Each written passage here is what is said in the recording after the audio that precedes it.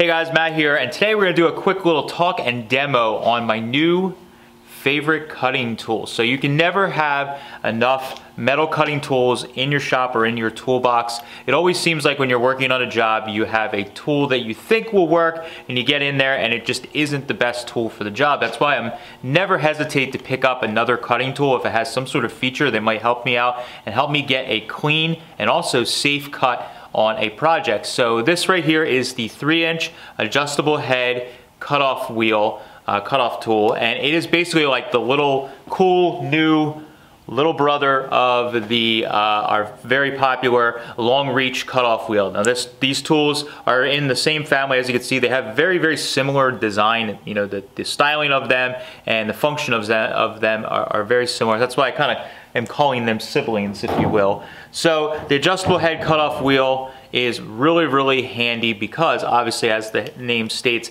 you can actually adjust the head of the cutting head on this wheel. So simply by loosening up this little lock here, you get 25 degrees of adjustment or uh, rotation in it that we can rotate the cutting wheel just like that. Now it may not seem like something that's that big of a deal, but when you start getting into cutting panels uh, and cutting things in vehicles, um, it, it, gets to be very, very difficult. So I'm gonna show you a couple instances where this thing has really helped me out with cutting uh, some on some projects, and uh, we'll show you a couple more of the features along the way.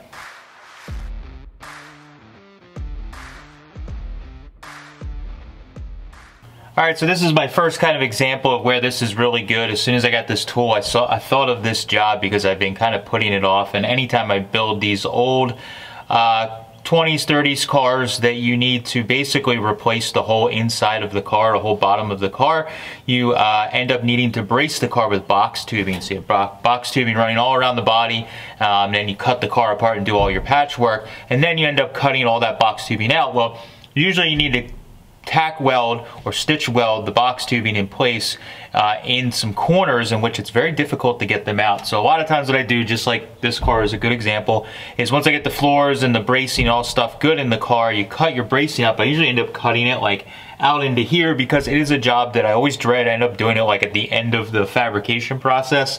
Uh, and that's just cutting off the tack welds that are in these tight corners under the dash and in the trunk and things like that. So with this um, adjustable head cutoff grinder, if we had a normal cutoff grinder, if we use this for uh, our example, basically like right now I'm gonna be running into the door trying to get these cuts on that tack weld because it's just a straight uh, cutoff wheel there. So by taking this, we'll loosen our head, tilt that back, that the full amount there, and then now what we can do is I can get in there comfortably like this and make a nice uh, clean cut through those couple of tack welds.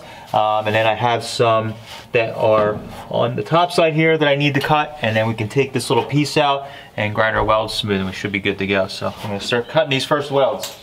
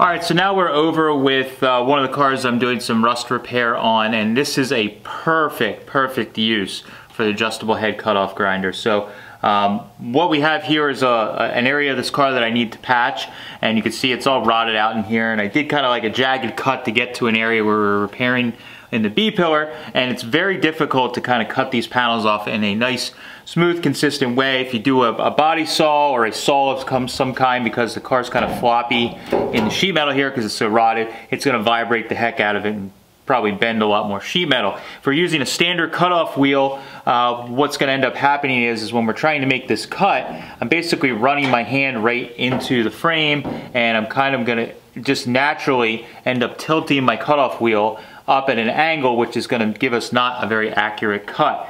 So by taking this tool, we can click this open, click our head back, and then we can lock it in and it's gonna keep us nice and comfortable here where I can make a nice straight cut and in this instance, I can keep my hand, backside of my hand right on the frame here to keep me nice and steady. And I can just work across just depending on the way you're cutting. You can cut either way. Now the reason you can cut either way, uh, or if you want to just kind of change where, which way the sparks are flying, there is a switch right here on the back that is a forward and reverse. So you can basically change the rotation of the wheel by doing that. You can also change the speed on this knob here, but I, I, uh, I'm a hot rodder. I like keeping it wide open all the time. So um, I keep it at the high all the time, but you can change the forward and reverse just by turning this little switch here. So I'm gonna cut, I've already scribed the line here where I need to cut off this old crappy metal, and I'm gonna show you guys how we can do that. I'm gonna just do a quick test just to check my sparks, and we'll change our rotation, and we'll be off and running.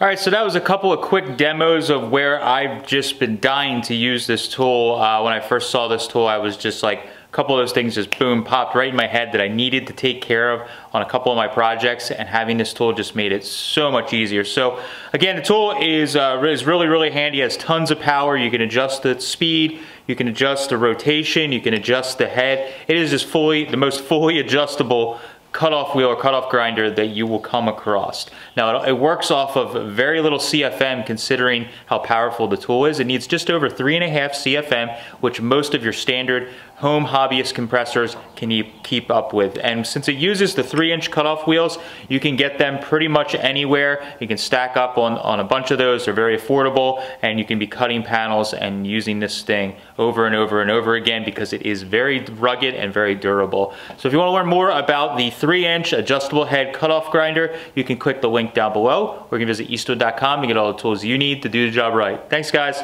Catch you later.